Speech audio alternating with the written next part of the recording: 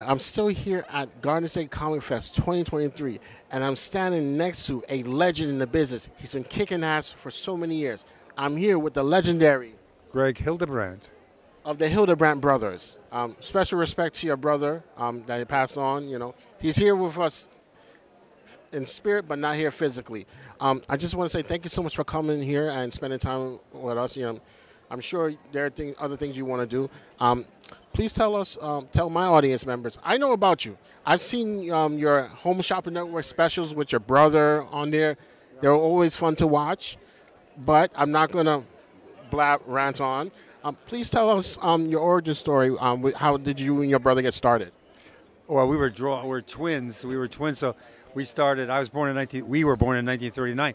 I mean, we were both drawing together from the earliest age, probably three years old. I can remember being three years old, and and we worked together on just about everything that we did. Not just drawing, but making costumes and puppets, and eh, you know, uh, uh, making eight millimeter movies together. So it- it's been from the very beginning, in a sense, that we've been working together. You know. Okay. So, um, what was it like for you guys to tackle your first assignment? Because um, from what I was reading online about you guys, either one of you will model or both of you will model. You mean model for the Yes. Well, that yeah, either because we, we need a reference uh, source, and Tim would uh, we'd get Tim in a costume or me in a costume, and we would shoot each other. Or if there was a if we needed two people together, we'd grab somebody, a friend with a and, and, and shoot pictures of us. But we started that very early on, posing for each other as little kids, just to, to learn how to draw. Basically, Tim would sit or stand and make some movement, and I would draw him, and, and, and vice versa with me. So it's uh, we would you know we worked like that for from the very beginning. Okay. So, um, tell me about the very first commission you both worked on together. What was that about? Oh my God! I mean, professionally, we started working for an, uh, an animation company or a filmmaker. I'm, like again, I was born in Detroit. In Detroit was the biggest industrial filmmaker in the country, the Jam Handy organization, started by a man Jamison Handy, who was friends of the Fleischer brothers, who did Betty Boop and Popeye and the Great Superman cartoons of the '40s, and uh, they. Uh, Max Fleischer worked there for a while, and his animators were there. The first job that we had, Tim and I, professionally, was working for that company. We were 18 years old, graduated high school, did six months active duty in the army, and then came back and, and uh, went to work for this company. And we worked in the animation department. So that was literally the first professional job that we we ever did. Was working. And the very first film that we worked on at this company in the animation department was a training film film for the Air Force. We were opaquing cells. So, uh, what does it mean to opaque a uh, animation cell? in this particular case, the, the, the a pilot in Korea had come up with new combat maneuvers, and this would be in the 1952, and this was be 19 uh, what the heck was it 60 uh, uh, uh, 60 early 60s that they were now implement these combat maneuvers. What, what it consisted of was these little pie cut shapes that flew around showed you the combat maneuver. It was like a literally a pie cut with a tail sticking out, animated in 3D. uh, You know, pieces of paper, uh, pencil drawing on pieces of paper, which are registered on a peg bar, and then acetate sheets are laid on top of that and, and registered on a peg bar, and the inker inks in the uh, pie cut. Then they put that on a shelf and let it dry. They put handed it to us, Tim and me. You flip the cell over and you you apply paint, which has been pre-mixed for the friendly plane and the enemy plane. In those days, the friendly plane was blue, and the enemy plane was red. And we, for eight months, that's all we did was oh, take a little bit of paint, dip it in, paint this little pie cut, dip it in, paint it. And you know, it's quite a, uh, how can I say, not exciting job, but it's basically starting in the business, and you you learn from the ground floor up. That, that's that's opaquing cells. That's amazing, man. So, what was it like for you, to, you guys to create your very first painting commission? What the heck? Well, that would have been in uh, in painting commission. It would be more uh, uh, illustrated books, and they and they would be uh, the first book that we illustrated was about 1963. Because we were making documentary films for several years. We ran camera, like you, with sound, and I was explaining to you a little earlier, I would be carrying around gigantic, you know, Arriflex 16 millimeters or 8 Clairs, Nagra tape recorders, battery packs all around our waist, and we went to listen, listen, I was making films for a man, Bishop Fulton J. Sheen. He was a Catholic bishop who had this obsession to bring Americans to an awareness of the third world, the poor and starving of the world, to, to show the haves and the have-nots. So those I came from Detroit here to New York City to make films of that nature. So uh, that I did everything with, my brother. We shot, we edited, we structured the scripts for for the bishop, and. Uh, uh, uh, so that was like the really first big commercial, and one of those movies contained a bunch of paintings that Tim and I did together for this particular film. So that that sort of like is how we started really painting together in that sense, commercially. You see. Okay. Was there ever a job that you and your brother said, you know, we're gonna have to pass on that? That's not really for us. Find somebody else. Uh, yeah, I mean, I would do that with uh, cigarette commercials because I, you know, I, would smoked. I, I, I, smoked cigarettes, but I knew then I'd quit in the danger of smoking, so I refused to do cigarette commercials. And I mean, I even got to the point of that I wouldn't do any uh, alcohol commercials, you know, any paintings for that nature. Not, you know, not that. Don't get me wrong. I'm not a prude about it. I just didn't want to be part of promoting anything that may be addictive or hurtful to somebody. So I would say no to that kind of stuff. Okay, I, I understand. I respect that. You know, um, I'm not a. I'm someone that used to drink liquor, but I quit, obvious for obvious reasons. I won't do it anymore. All right. Um, so, what was the hardest assignment you both ever had? Oh my God, the hardest. I think not hard. Well, hard. Uh, we we uh, in 1994 we started working on a trading card series for Marvel Comics, Marvel Masterpieces. It was 159 paintings, I believe, in that first set, and we had we had six months to paint them, 159 paintings. So literally, that was cranking out art. I mean, you had to come up with a system. We already had our system because we had worked together for many years. You know, we had a system, so to speak. And this one, we had to particularly come up with a, a system that was different, which we did, and we were able to get meet the deadline. But midway in it, a new project rose up, which I couldn't say no to, which my agent in Jean had got for us, was my friend Michael Uslan, who's produced uh, the, Batman. the, Batman. movies. Yeah. He optioned Terry and the Pirates, which was a comic strip in the 1930s and 40s. And uh, uh, Tribune Media owned that in Chicago, and he optioned it to develop it for film and decided uh, the possibility of doing it as a comic strip. So he talked to Tri- Tribune Media, who owned it, and then called Jean and said, "Would Tim and Greg like to do this?" And she said yes, without asking Tim and me.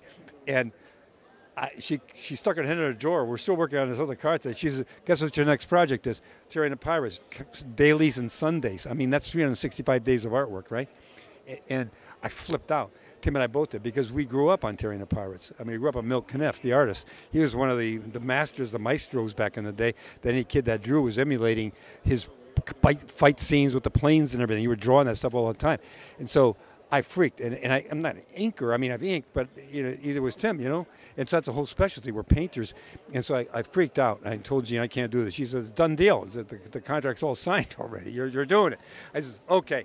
But I mean, I love this is you're talking about hard. I don't know if that's hard or you're just you're just gonna have to make your mind up to do it, and uh, in in a sense, the fear turns into excitement. You got to find some way to turn the fear into excitement so that that turns you on. And in fact, both Tim and me loved challenges because that's what pushes you forward. So it's it's well, it's a good thing she did get you the job, and it's also a better thing you guys decided to rise to the challenge. That's cool, man. That's great that's the only way to operate. I mean, you know, because if you don't, what do you do? You move nowhere, man. You just stay stagnant. Things have to change and move forward, and you have to uh, be very, very have a, a, a, very positive attitude and be very extremely enthusiastic about it. That has to be an internal thing that I don't know where that comes from. I, I was always had it. You know what I mean? So I, I don't know if you can learn that. I don't know how that works. I mean, talent's one thing, or the ability, what they call talent, to be able to draw you you can you can learn that. You can go. To, you can really be taught that. In, in, but but the the the obsession to keep proceeding forward against all odds. I, I don't know where that comes from. I guess heredity, maybe. So here's one question I've always wanted to ask: Did anyone offer to like make an animated movie based on your artwork, like they did for Frank Frazetta, or that offer has never come your way and it's all good? You know. No, nobody's ever offered to do it. But Tim and I did a novel, a, gra- gra- uh, a novel illustrated and wrote it with a friend, Jerry Nichols, uh, called Urshurak. That was we had illustrated the Lord of the Rings for Ballantine Books. We did three calendars, and we decided to do our own story in that genre. And I and I and I thought maybe it should be a film too. So I was trying to pitch it as a movie, uh, in, in through the William Morris Agency, and both either either or either as an animated film or a live action film. You you know pitch it both ways, and and we had a whole presentation, and we we uh, through the William Morris agency, we would go there. Directors, producers would come in and look at our pitch, and uh, so they were enthusiastic about it. But it was, it's about timing too in this world. See. We, we, we illustrated rings, very successful, huge success uh, globally. We had a fandom now that's in the 70s, mid to, to late 70s. And then then we did the Star Wars poster for the Star Wars movie, which catapulted the fame into a whole other level.